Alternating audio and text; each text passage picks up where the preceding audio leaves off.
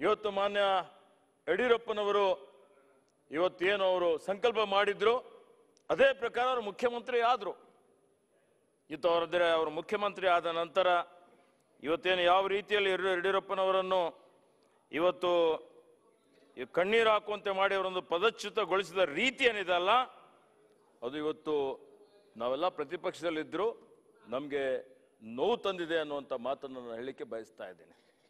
ಯಾಕೆಂದ್ರೆ ನಮ್ಮ ಸಮುದಾಯದ ಅತಿ ದೊಡ್ಡ ಒಬ್ಬ ನಾಯಕರು ಇವತ್ತು ಯಾವ ರೀತಿಯಲ್ಲಿ ಅವರಿಗೆ ನಡೆಸ್ಕೊಂಡಂಥದ್ದು ಈ ರಾಜ್ಯದ ಜನ ಖಂಡಿತ ಕ್ಷಮಿಸಲಿಲ್ಲ ಅನ್ನುವಂಥ ಮಾತನ್ನು ನಾನು ಹೇಳಲಿಕ್ಕೆ ಬಯಸ್ತಾ ಇದ್ದೇನೆ. ಇವತ್ತು ಮಾನ್ಯ ಸಭಾಧ್ಯಕ್ಷರೇ ನಾವು ನೋಡ್ತಾ ಇದ್ದೀವಿ.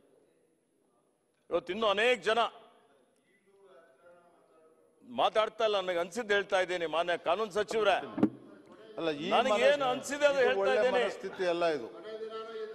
ಇದು ಏನೋ ಎಲ್ಲ ಹೋಗ್ತಾ ಇದೀವಿ ಹರ್ಷವಾಗಿ ಹೋಗೋಣ ಎರಡು ಮಾತಾಡೋಣ ಅಂದ್ರೆ ಈಗ ನಾವು ಉತ್ತರ ನಾನು ಮನಸ್ಸಿಗೆ ಏನಿತ್ತು ಅನ್ಸಿತ್ತು ಅದು ಹೇಳಿದ್ದೇನೆ ಮನಸ್ಸು ಅಲ್ಲ ಮನಸ್ಸಿಗೆ ಅನ್ಸಿದ್ನ ಕಾಂಟ್ರಡಿಕ್ಷನ್ಸ್ ಕಾಂಟ್ರವರ್ಸಿಸ್ ಹೇಳಕ್ ಕಾಂಟ್ರವರ್ಸೀಸ್ ಯಾವುದು ಹೇಳ್ತಾ ಇಲ್ಲ.